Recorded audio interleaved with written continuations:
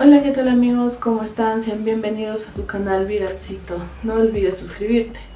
Luego de los resultados del enfrentamiento de México versus Brasil, la selección del Tri quedó eliminada de la Copa de Oro. Pero como sabemos, México era uno de los equipos que dio más sorpresa en esta final, porque venían con una racha de victorias al igual que Brasil, en el cual pudimos apreciar diversas reacciones tanto de medios como de fanáticos.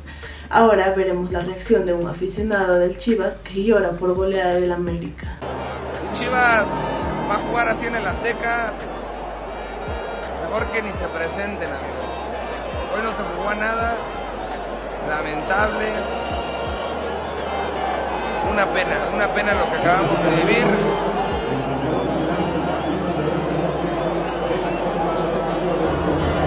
¿Qué les digo amigos?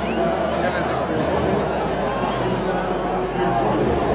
Bueno chicos, como sabemos, la próxima semana se jugará el partido de vuelta. ¿Y tú qué crees que el Chivas que el Chivas logrará dar vuelta y sorprender nuevamente al mundo?